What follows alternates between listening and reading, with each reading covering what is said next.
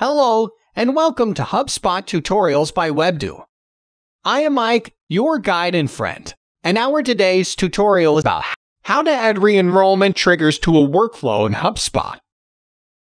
By default, records only enrolled in workflows the first time they meet the workflow enrollment triggers or are enrolled manually. You can use re-enrollment triggers to allow records to be re-enrolled in your workflows. In this tutorial, we will show you how to do this. To add re-enrollment triggers to contact-based workflows. In your HubSpot account, navigate to Automation and click Workflows. Click the name of a contact-based workflow. Click the Contact Enrollment Trigger box. In the right panel, click the Re-Enrollment tab. Select the Allow contacts who meet the enrollment triggers to re-enroll when any one of the following occurs checkbox.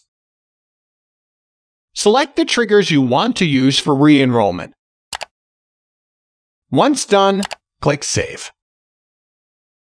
To add re-enrollment triggers to company, deal, ticket, quote, or custom object-based workflows. Click the workflow type at the top and select any one of the objects mentioned above here. We are selecting deal-based workflows. Once done, then click the name of your deal-based workflow. Click the Objects Enrollment Trigger box. In the right panel, click the Re-Enrollment tab. Click to toggle the Re-Enrollment switch on. Select the triggers you want use for re-enrollment. Once done, click Save. That's how you can add re-enrollment triggers to a workflow in HubSpot. Thanks for watching. Feel free to ask any questions in the comment section, and we will be happy to answer.